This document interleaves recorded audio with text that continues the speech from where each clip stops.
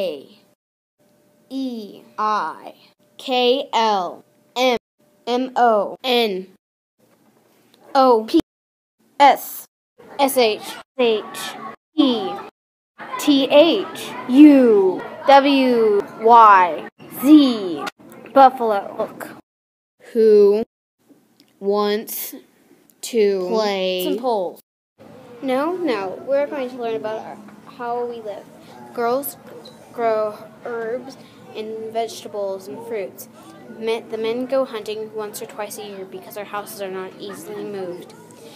And we help sell with traders our medicine and things like that. This is the little old man to help split us up into the two parts of our tribe, the earth and the sky. Sky tribe is sky, sky, Titan, sun, and rain. The earth tribe is Tom, Mia, So Alik, excited and I'm in Sky Tribe. When you're older, you'll have to marry somebody that's not in your tribe. Like, for instance, if you're in the Earth Tribe, you'll have to marry somebody in the Sky Tribe, and vice versa for the Sky Tribe. This is the place where we used to live, but we now we mostly live in. It's time to go home to your Earthern lodges. Yay! Susie, can I borrow your wooden doll? Sure, it's in my part of the lodge. Did you know that I have to share this house with a whole nother family plus mine? It's so cramped. Yeah, I know. Everybody has to do it.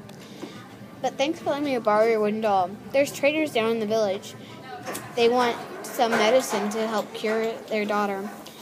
Do you think that you could offer some?